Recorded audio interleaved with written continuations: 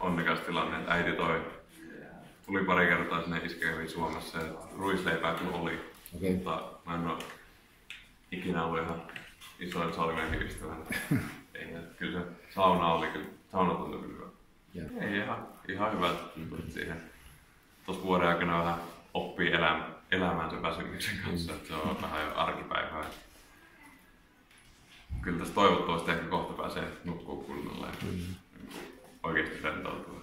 Meillä on ehkä puolentoista viikkoa yksi vapaa päivä ja silloinkin oli aika usein jotain joukkojen hyvän tekeväisyysjuttuja, että niin kuin silloinkin tehtiin jotain.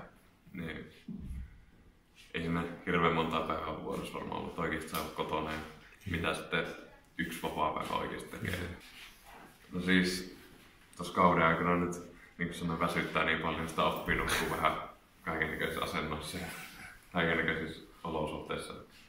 En ikinä olisi uskonut, että lentokoneessakin pystyy hyvin nukkumaan, mutta kyllä se niin siihenkin, sitäkin tulee sitten.